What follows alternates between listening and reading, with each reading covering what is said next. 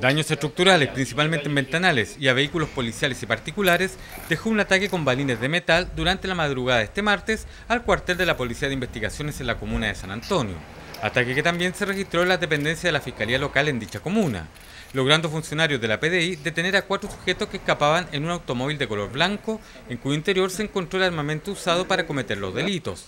generó inmediatamente una reacción de parte del personal que estaba de guardia, que estábamos listos y preparados, estábamos dispuestos para poder hacer frente a cualquier situación que pudiese poner en riesgo nuestra instalación y también a nuestro personal.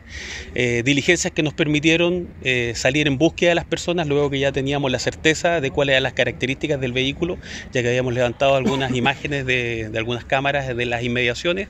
permitiéndonos poder controlar un vehículo en las inmediaciones y, posteriormente proceder a la detención de las personas a las cuales encontramos con los elementos eh, que los vinculan con este ataque. En cuanto a los daños en la Fiscalía, estos se registraron principalmente en el primer nivel del edificio, avaluándose en más de 2 millones de pesos. Hay un recorrido de este vehículo que eh, pasa en un primer momento por el cuartel de la PDI, luego por la Fiscalía Local de San Antonio y luego eh, reitera ese recorrido por ambos eh, edificios. En el caso de la Fiscalía Local de San Antonio se realizan daños que afectan básicamente el primer nivel con la rotura de vidrios, el impacto de estos